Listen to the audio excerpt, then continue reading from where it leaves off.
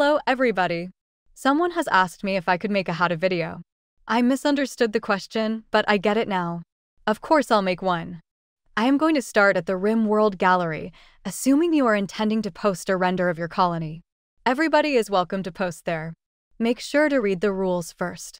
They are very straightforward, but breaking them will sadly get your colony removed. Of course, we will gladly help you should that happen, because we always stick to the rules you will only find high quality renders on the Rim World Gallery. To post a render, you will need an account. A slight inconvenience, it would be awesome if this weren't the case. However, RimWorld Gallery is on the Fediverse, and allowing people to post and comment without having to log in first would be like letting people on, for instance, Reddit without having to log in. Not a good idea at all. Let's do this first so we don't have to worry about it later. Simply click on Login, which brings you to the login screen. Then click on Register, which brings you to the register screen. Enter your username, email, and your password, and your password again to make sure you haven't made any typos. Then solve the CAPTCHA. Huh, water related and it's hoses. That's clever. You have to consent to the terms and conditions, but they're not much more than no cookies, only storing your email for the registration process, and so you can recover it should you ever lose your password. Some more details about not being owned by a company and running on the open source MBin software, and how that content will never be sold. Of course, read them if you are in doubt, there's no secrets in there. Now click register and voila, you're a registered user of the RimWorld Gallery. You will have to verify your account. For this, a mail will be sent to the email you just provided. Let me show you. Here we go an email from RimWorld Gallery. Open it and click on Confirm Email Address. You can always double check the URL to check if it leads directly to RimWorld Gallery. Always better to be safe than sorry. The login page will be opened again, and now you can log in with your credentials. Here we go, that's that done. Now to the actual mod. To use the Progress Renderer mod, you will obviously need to subscribe to on Steam or get it from the GitHub. Make sure you select the version made by Neptimus 7, which is based on the original version made by Lanilor. Especially when Googling for it, pay attention, you may end up on the wrong version, which is no longer maintained. Neptimus 7 has allowed me to contribute to his mod, and we have made some optimizations to make posting on the Rim World Gallery a lot easier. Here you can also ask questions or comment, and you will find a Discord link where the mod creators are, and you can talk about Rim World renders in general. So, that's us subscribed to the mod. Let us go to Rim World and use the mod. First, I'll show you the mod settings. In the main menu, go to Mods and select the Progress Renderer mod. Then, under the Advanced button, you'll find Open Folder. This will open the folder where the renders made are stored. Renders you make manually are stored in a subfolder called Surprise, manually. Then there's the mod options. Some of these settings are global, some are saved in game. I'll get back to that later. Let's start a game. Open the Options menu and select Mod Options. Select Progress Renderer. The first option is enabled. This is mostly useful when you want to install the mod and have it ready, but don't want to actually start it creating renders at an interval yet. When you start a new game, it will enable automatically. This is good for when you want to make a time lapse, so you'll never miss the first frame. The next settings on the left side of the screen are all global. This means if you change them here, they'll be the same in other games. I advise you to set render feedback to message. Disable all render settings, having overlays, especially weather, can seriously reduce image quality. Rain, for instance, is very hard to compress. Here's a tip make your render when the sun is shining. Even when the weather overlay is disabled, when it's raining, it's darker. The smooth render area is really only relevant as you want to capture a part of your colony, which can be selected from the Architect menu under Orders. I am not going to go into that here.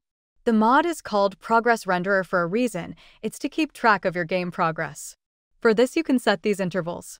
You can do it multiple times per day, but this will result in flashing during time lapses. Speaking about time lapses, the Timelapse 2023 mod is currently being maintained by me and is ideal for making time lapses with your renders. For a nice time lapse, I recommend Rendering every day. Rendering at 12 p.m. Only set encoding to PNG is you want lossless renders. They will be gigantic in size and fill your storage rapidly. Therefore, I recommend JPEG, especially if you want to make a RIM World Gallery post. By the way, this is another global setting. The quality adjustment feature was made by me, especially to make creating renders to place on the RIM World Gallery easier. Before you'd have to recompress your large PNG renders to the right size JPEG so you could upload them.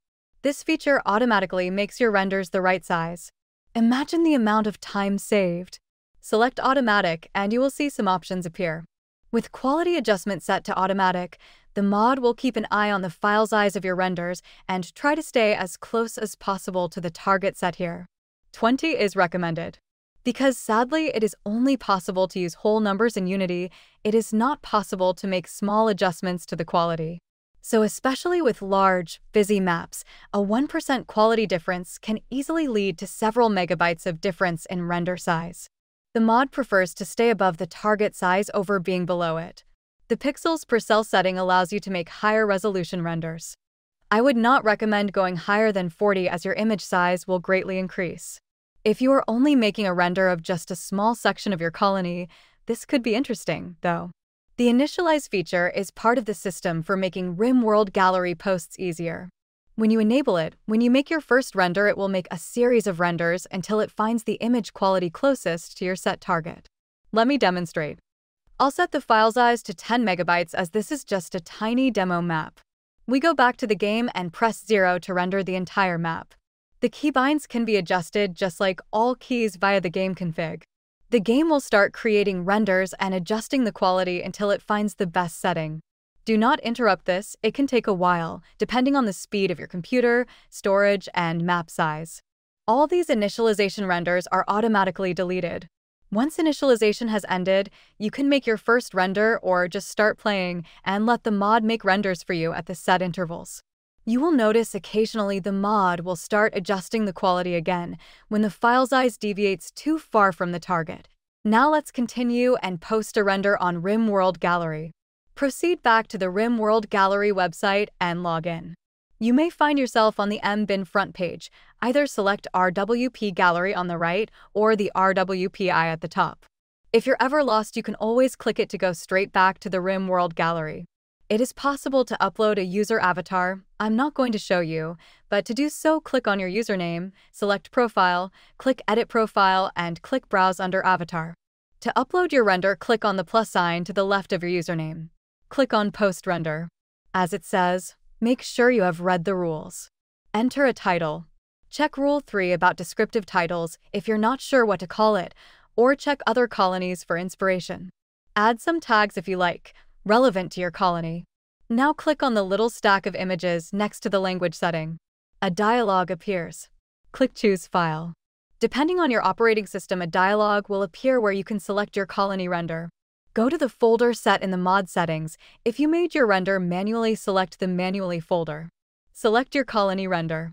Depending on the file size, a preview may appear, but you do not have to wait for that. Close the dialog by clicking somewhere safe outside it and click Add New Photo. Uploading will commence. This can take a long time, depending on the render size and your internet speed. Once it's done uploading, give the gallery some time to create a thumbnail. This can also take a while, again depending on the size of your render. And that's it, you've posted a render of your colony. Very nice. Make sure to check in every now and then to look for comments.